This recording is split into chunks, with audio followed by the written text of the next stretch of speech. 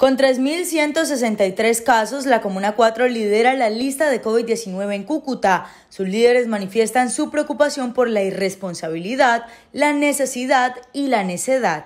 La Comuna 4 es la comuna con mayor índice de contagio por casos de COVID-19. Esto se ha debido a que gran parte de la población de la comuna se dedica al informalismo Diariamente las personas tienen que salir de sus hogares a buscar su sustento.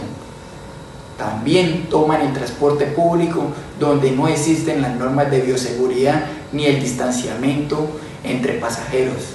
Asegura que la situación es crítica y urge una cuarentena estricta para proteger a la ciudadanía. También se ha debido por parte de la indisciplina, la desobediencia de unos por realizar celebraciones los fines de semana con sus familiares y amigos, en el cual no utilizan los tapabocas y, forman aglomeraciones.